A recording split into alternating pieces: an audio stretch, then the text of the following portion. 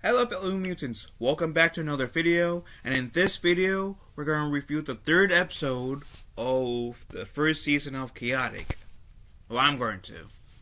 And you, some of y'all might be saying, well, where's episode 2 review at? Well, I kind of covered episode 2 with episode 1. Because the first two episodes were called Welcome to Chaotic, and they were split into like two parts. And so, um, Go watch my last review, which I will link in the description for you beautiful people. Um, but with that said, I'm going to be uh, talking about uh, the third episode of Chaotic, which is called Unexpected. And I kind of loved. I didn't say this in the last, like my last review on purpose, but I do love how like in the last, like in the Welcome to the Chaotic episode, we kind of saw one of the main characters that we're going to get, like, one of the main characters of the series. We kind of see just randomly walking around in uh, Chaotic. And he's seemingly. It seemed like he was going to be kind of like a random character, a quote unquote non important character. And this episode, like, okay, he's an important character of the episode, right? I can tell you right now, Peyton, being the character I'm referring to, he's an important character through like the rest of the first season, second season, and third season. So, in this episode, it starts out on like Kaz and um Tom in Perim doing scan uh scan uh find um essentially and to uh, help a scan find.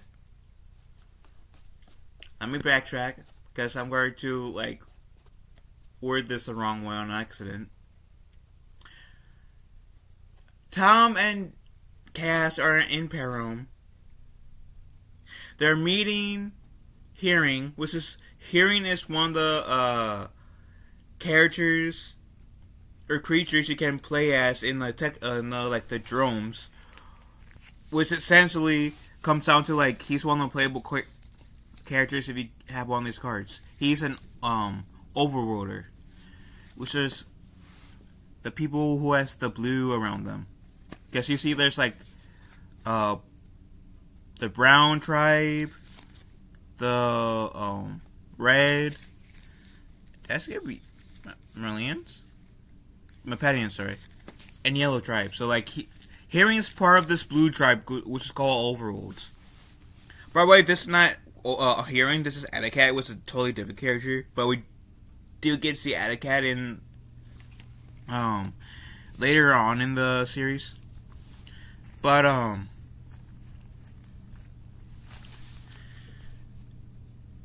So, H'earring uh Kaz has some goodies for um um H'earring in, in exchange for information. And we see that um Chaor being the ruler of the underworld uh has ha, has this like all something looking drill blaster thing.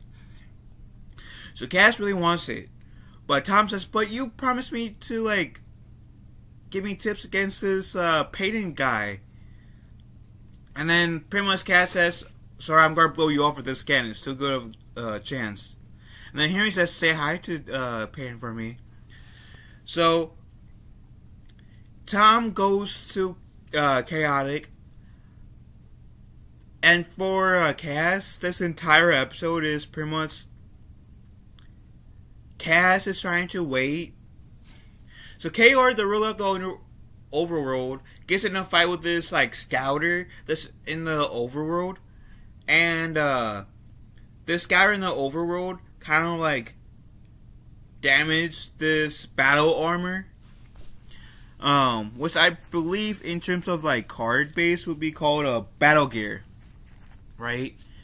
And so he um Chaor retreats goes as Omar which is like a really smart scientist guy, to help fix and improve the machine. Kaz follows him and he's able to scan. Um, he later on scans uh, the this battle gear because the rules in this, which I don't think I like really explained in like my last review. Which if you guys watched the episodes, it would uh, would have been explained for you guys. But if you guys hadn't and just are watching my reviews for the hell of it, thank you, and I will do my best to explain here.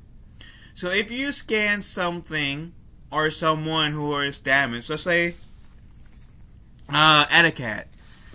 See here, this is um the bottom, my bottom left.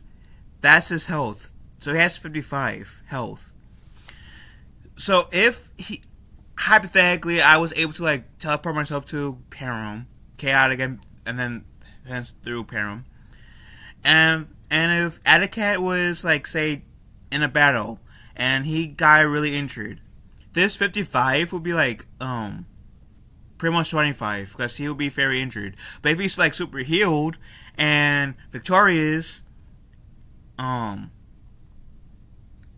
and has some music, which is there for magic, music casts on him to heal him, then he either be at 55 where he's at now or higher health, right? Um, my point being, the state of, in this case, the character will be the same state as the car, like, that your ability to play as the character in the techno drums, that they call it. And same with the battle gear. If the battle gear, like, in this case, that cool drill thing that I mentioned that KR used doesn't work, then um um sorry. If that cool uh, if that drill equipment thing that didn't work when Skaz scanned it, then Kaz would not be able to like use like use it properly in the battle. Because whenever you scan, you scan that creature, battle gear, music, location, in the like in the state of it when you're scanning it. Um, so Kaz was able to like scan it while it was what when it was operational. Has some havoc happen? Essentially, Kaz it teleports back to chaotic. While this whole thing's going on, Tom is facing Peyton. Uh, he after he teleports from chaotic from like Kaz, like just pretty much saying, "Sorry, this is more important to me." Tom goes back to Perim. Eh, sorry, back to chaotic, and sees Sarah, who was seen in the I want to say the second part of Welcome to Chaotic, which I kind of covered in my Welcome to Chaotic review. But Tom goes to Sarah. Sarah knows who Clayton is, I mean, Peyton is. So Sarah says, "Oh yeah, uh, Peyton is a um, he's kind of unpredictable, and I'm sorry for those poor loser who is going to face him." And then Tom says, "I'm the poor loser," and this. Ooh, yeah, sorry. So um, essentially, Peyton, Tom face each other. Um, it's a one v one. Um, Tom uses his Maxxor. Maxxor is Tom's favorite card and his best card, essentially. So I would like it's not too surprised, especially given like the last episodes. It's not too much a surprise that Major Tom will use Maxxor. And I forget that I'm a like this show has been part of my childhood and I forget which creature that um Peyton has and I don't think I even have Yeah, I don't even have that character in my deck. I'm sad. This is the extent to my like uh, creatures in uh Mipedians and I'm I'm sad I don't have more. I have more like I feel like I have more in overroads. Yeah, I'm more an overroader. I mean, underroaders, overroaders, Damien's. Man, okay. Anyway, anywho. So, the fight's going on, and it looked like at one point Tom had a shot. Even Sarah said it. Um, and she said, "Yeah, he has shot one in a million. immediately, immediately, some of these jokes in this show is cheesy as hell. I'm not going to dispute that. Because, like, I feel like this, uh, like, this argument is, like, overused nowadays. But, like, in, like, in this case, it is a kid show, right? That so happens to be promoting a card game, which so happens to be my favorite card game, right? And I would say I enjoy the show. I think the show is good. It, I think, I mean, I am personally more drawn to it than I was when I was like the brief time I was like really heavily into uh, Digimon. When I like would watch the Yu-Gi-Oh show, I would try to get into Pokemon for my brother because my brother as a kid was huge into Pokemon. I tried to get to like have that something in common with my brother so I can like talk to him and to get into like just to like see where the hype was at so I can connect with my brother a bit more. I with that said, as much as I love my brother and as much as I try to get into Pokemon, and I don't mean this to be in any way a sh- uh, like a a metaphorical stab to anyone's ego when I say this who are sorry, who are into Pokemon. But I like Calyx better. I I can see why people are into Pokemon and my favorite Pokemon is Squirtle. But I, I like I feel like Pokemon's like overrated a bit. And I, I enjoy chaotic. Maybe partially because it's underdog and probably because like I'm weird. But chaotic's fun. The card game's fun. The game, the actual um show is fun. So, anyways, and um. Also, part of the reason why I like Chaotic, before I get back into the episode, is because even if you guys like watch the other episodes, like if you guys had watched the episodes prior to this review, right? Or if you guys had decided like, hey, I like the first two episodes, I'm gonna binge watch all of them once they're on YouTube. So I will have the third episode in the description below, so you guys can watch it if you so choose. What I like about this series is the fact that they also like do something that I feel like some other shows that were based off card games try to do, but Chaotic, Chaotic does it better. And that is explaining strategy. I think they explain strategy better for a card game based show than like a lot of the shows card game based shows did at the time of chaotic airing. And I genuinely believe that. I genuinely believe that. But anyways.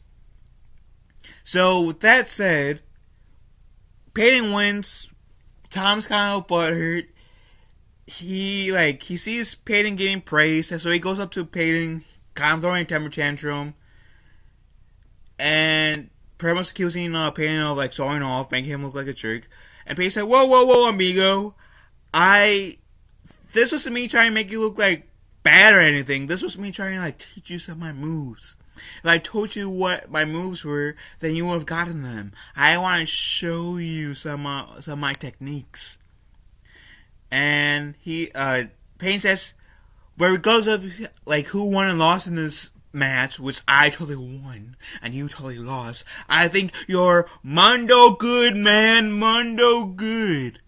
And that, like, kills any negative feelings that Tom has in that scenario. And he said, thanks, man. And they pretty much, like, bro hugged it out. I say pretty much they didn't really do that. But they just like we're like, okay, everything's squashed. We can move on now. And then uh the episode essentially ends with like Tom saying, "I'm hanging out with Sarah. You want to hang out?" And Tom, Peyton says, "Take me to Sarah." So Peyton and uh, Tom sits on the table where Sarah's at. Kaz finally came comes back from cha- uh, Perim to Chaotic, and Tom asks, "How did your uh, scan quest go?" And Tom, uh, Kaz says, what I can consider to be a very cheesy pun, is it was a blast.